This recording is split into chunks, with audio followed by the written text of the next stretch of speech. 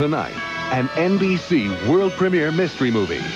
Robert Wagner and Stephanie Powers are Heart to Heart.